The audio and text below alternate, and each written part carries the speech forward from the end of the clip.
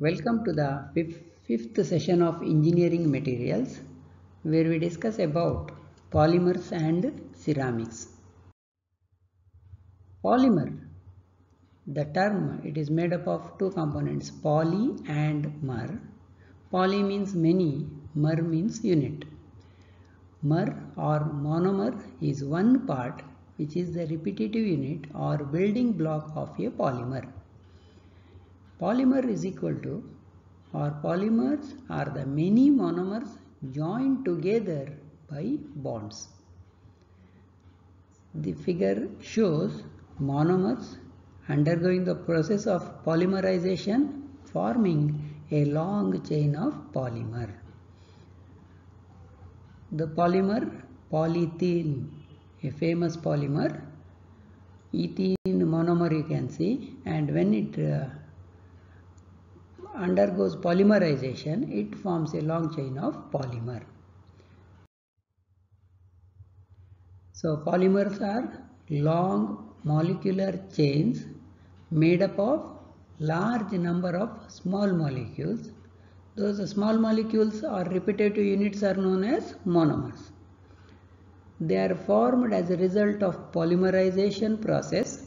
There are two such processes addition polymerization and condensation polymerization.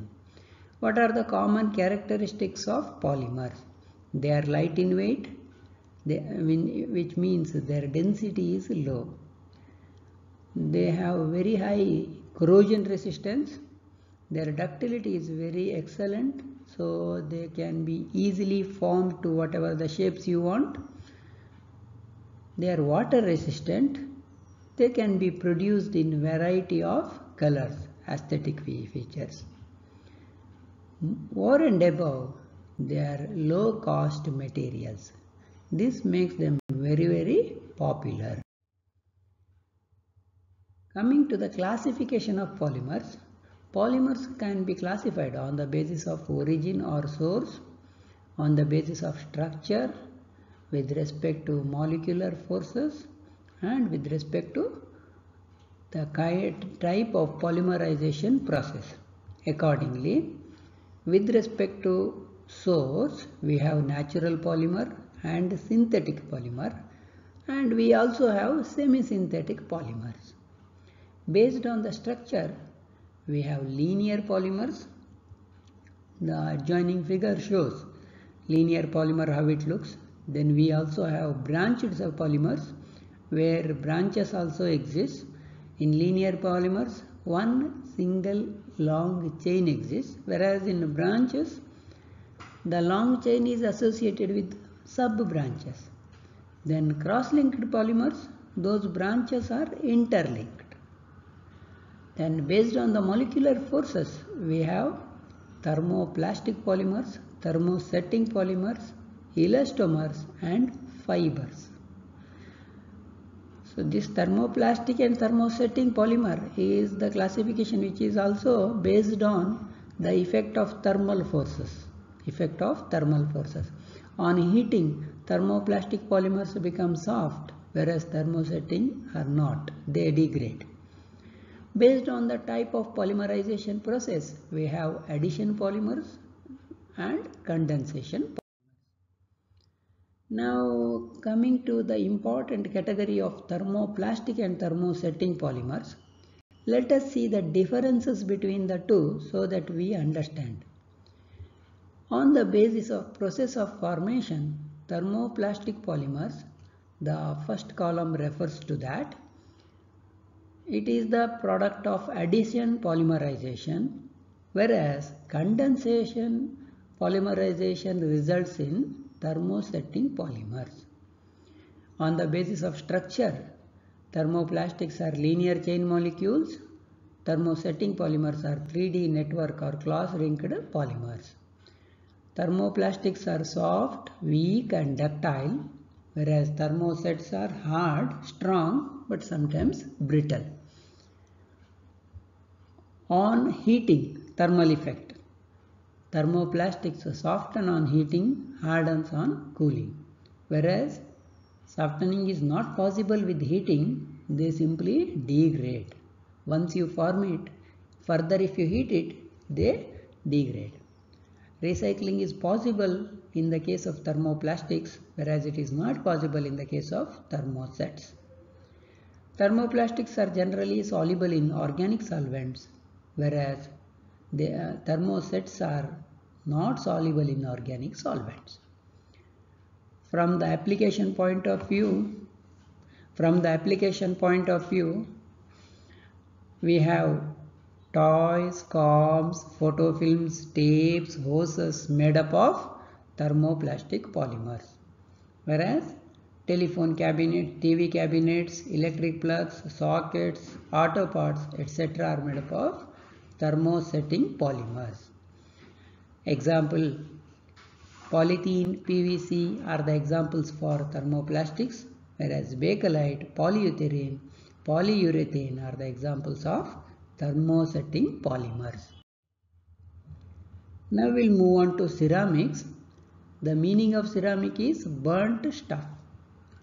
Ceramics are inorganic, non-metallic, solid, made up of metal or non-metal compounds that are shaped and then hardened by heating to high temperatures. They predominantly have ionic bonds. They predominantly have ionic bonds and covalent bonds also they contain. They are hard, corrosion resistant, heat resistant, chemical resistant, but generally ceramics are brittle. They are commonly used for refractory applications. Ceramics can be classified into traditional ceramics and advanced ceramics. Traditional ceramics are those mainly made from natural raw materials like kaolinite, clay mineral, quartz and feldspar. There are sub-classifications possible. Advanced ceramics, they are made from artificial or chemically modified raw materials. From the application wise, traditional ceramics are used in whitewares, cement, abrasives, refractories, bricks, structural applications. Whereas advanced ceramics, again we find two kinds of applications, structural ceramics and functional ceramics. Structural ceramics form nuclear ceramics, automotive brake pads, wear resistant ceramics, tribological industries. Whereas functional ceramics, electronic substrate, package ceramics, capacitors, piezoelectrics, magnetic ceramics, there are a lot of applications. Glass, it is the inorganic, rigid, amorphous solid containing mainly silicon oxide, silicon dioxide or silica, SiO2. Other common ingredients include oxides of boron, calcium, magnesium. They are smooth, glass is a smooth, shiny, non-porous, transparent solid. It is resistant to chemical attack. It is a poor conductor of electricity. It is strong but generally brittle. It has lot of structural applications and lab wares, chemical wares, utensils. They are also used uh, in electrical products, insulation and other purposes.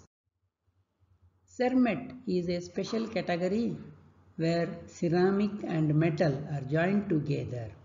Mixtures of ceramic powders and metal powders are put into together. They are uh, manufactured by powder metallurgy process where they are mixed thoroughly then heated. The, see, we call the process as sintering which gives a strong bonding and uh, a uniform kind of material.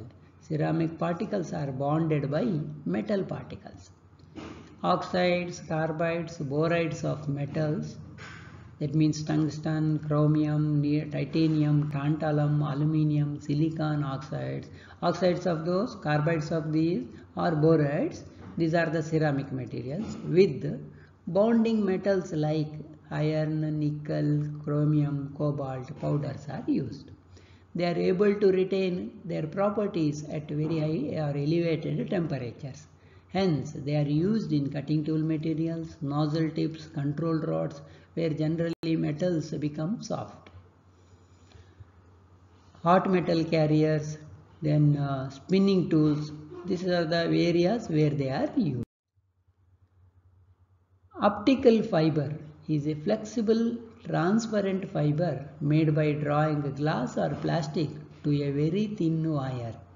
Diameter is in the order of human hair, slightly larger than that. Optical fibers transmit light along their axis by total internal reflection. They are used to carry digital information over long distances. So oceans and all, they have optical fiber laid from intercontinental, continent to continent.